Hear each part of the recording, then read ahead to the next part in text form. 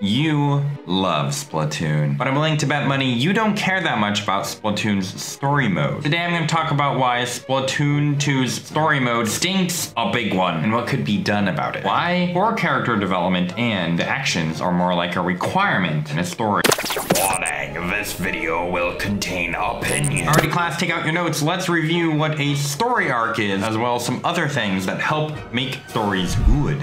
You have a hook, an inciting incident, rising action, more rising action, the climax, falling action, and resolution. There's also scope, scale, and stakes of a story. Stakes being what's at risk, scale being how big the story is and how many people the stakes affects, while scope, for the purpose of this video, is what the audience and the main characters personally have at stake. For Splatoon 2's Stinky Story Mode, the hook sorta there. They're like, yo, it's the news, I'm Pearl and Marina, and the great Zapfish is missing again.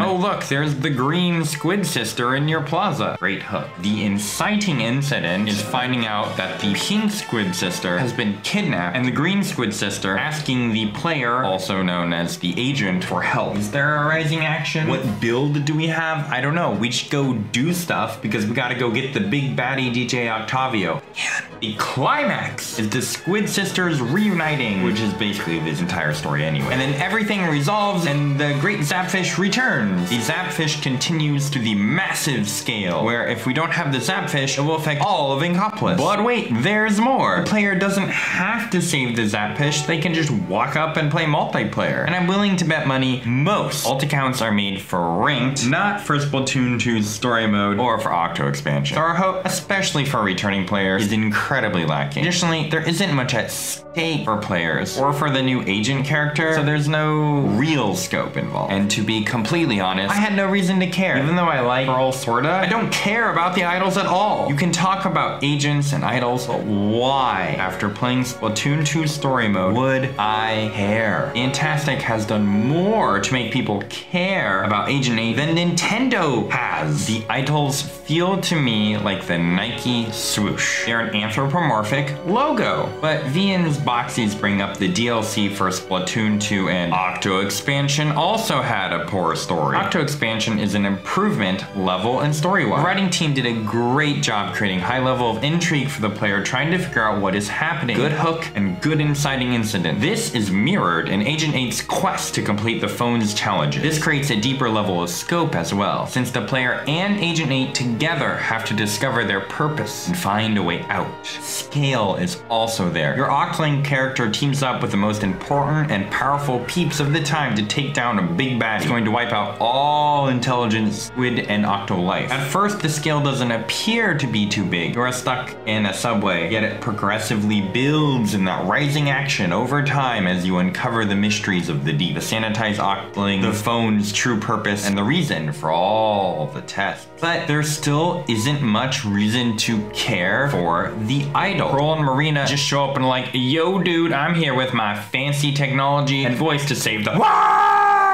Consider this. Do Pearl and Marina have anything personally at stake? Not really. In general, they're just kind of there helping out because they're bored. Does Agent 8 have anything personal at stake? Well, yes. If Agent 8 doesn't succeed, they die. There's no feeling of that personal vendetta or purpose in fighting the phone. Agent 8 has to fight or they will die. There's nothing personal about the fight. They have no vendetta against the phone and there's no purpose for them to want to take down the phone. They just need to to survive. And that scope. Nintendo showed us they are slightly improving story, but they really need character development and something at stake for our characters or more scope. This would make us care a whole lot more. Now, ladies and gentlemen, for some juicy opinions to seal the coffin on why the Splatoon 2 story mode and Octo expansion is majorly lacking.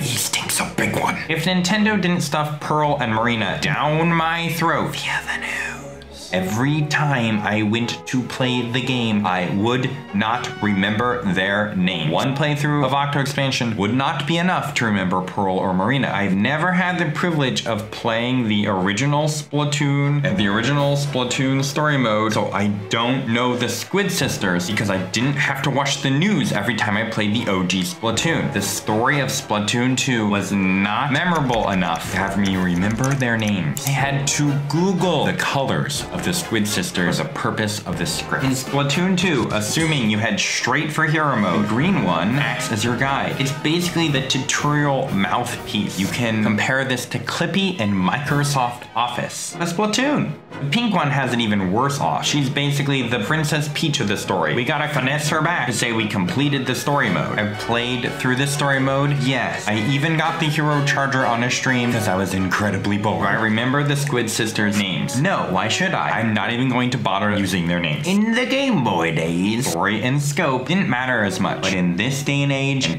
2022 Nintendo, it does. I have zero desire to try Hero Mode or Octo Expansion in its entirety again. That brings me to something that isn't the idol's fault. The story takes a huge backseat to the platforming gameplay. Splatoon's single player is set up much like Mario in its Game Boy era. Forum challenges across a few stages boss. Forum challenges across a few Forum stages challenges boss. across a few Forum stages. challenges, Forum across, a few stages boss. I think it's something Captain Astronaut has mentioned in a video of theirs. Basically, I think it's important to add a part here. How story gives those menial tasks a purpose for the player. You push through the challenges to get some reward, typically more information about the world, character development, etc. But in Splatoon 2 story mode, we don't get that at all. Funny enough, this is exactly why I don't care that much about Mario games. There isn't much story, and I'm just kind of eh about them. The selling point of Mario, of course, its creative approach to stage design, but Splatoon lacks creative approach to stage design. Vasko underscore games underscore YouTube did a tier list for Octo expansion stages and was going to do a tier list on the story mode stages for Splatoon 2. But he said literally only two stages of Splatoon 2 story mode would have been above C rank in terms of design. Yikes. Anywho, Octo expansion is a bit of an improvement since it does make it a bit more rewarding to finish a stage. It was difficult at least versus super baby mode in main game. And you were doing stages to make visible progress towards a real goal, things. There's still room for improvement in that regard though. It still felt like a list of requirements. That's what Octo Expansion is. That's what Splatoon 2 Story Mode is. A list of requirements you can say you done it. Platforming tasks, with most of the story being dialogue boxes you gotta read. I think you understand, I believe that Splatoon 2's Hero Mode and Octo Expansion lack story and character development. But how Splatoon 3 could make the story mode better. Number one, characters have a personal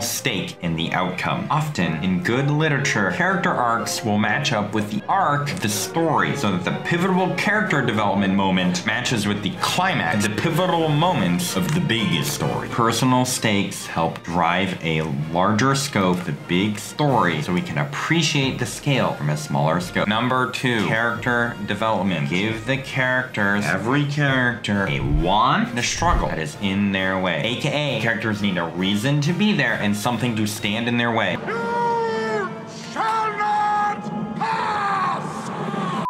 Writing, this is summarized as character wants blank, but blank. You are familiar with this already. In SpongeBob, Plankton wants the Krabby Patty formula, but SpongeBob is in his way. For video games, in Animal Crossing, the new resident on Tom Nook's Island wants to enjoy the calm life, but you got a debt to pay. For Monster Hunter, people want to exist peacefully, but powerful savage monsters disturb the local ecosystem and threaten their safety. Let's go into the realm of predicting the future to think of how characters in Splatoon 3 want blank, but blank. This could really help improve the story. Marina wants Pearl, but Pearl's father, Mr. Grizz, hates octolings and lesbians. Pearl wants Marina, but fears being disowned. Agent Chouse, or whatever they're calling the new agent, wants to help but cannot quit Salmon Run for fear of going hungry. The Salmonids and the Fuzzy Fuzzy Octarians want to be left alone, but Mr. Grizz and Marina's inventions have given them little choice but to fight for their livelihood. Mr. Grizz wants Inkopolis to prosper, but Inkopolis doesn't have enough energy. These personal desires of the characters directly feed into their struggle. Marina can struggle, ask Pearl to give up her wealth, and can ask Pearl to challenge her controlling father. Pearl, in that manner, is also struggling to defy her controlling father, who controls the entire city. Agent Chow struggles to openly oppose Mr. Grizz because they can hardly hardly afford rent, it's hard for the agent to help Pearl and Marina. The Salmonids and the Fuzzy Octarians are tired of all this fighting, yet they hate Marina in their soul, and Mr. Grizz in their soul. The climax of this predicting the future game is also the climax of the character, where they overcome what holds them back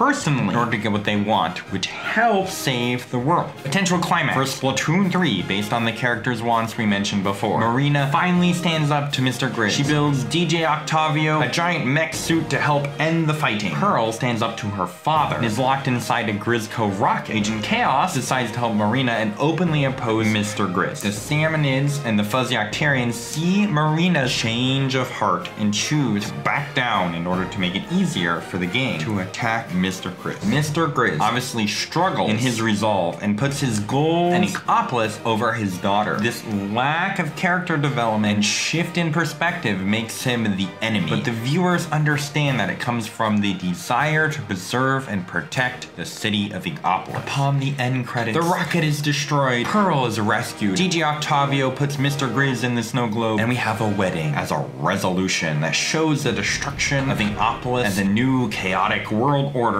Let's hope that Splatoon 3 has a good story. Always remember, no dying.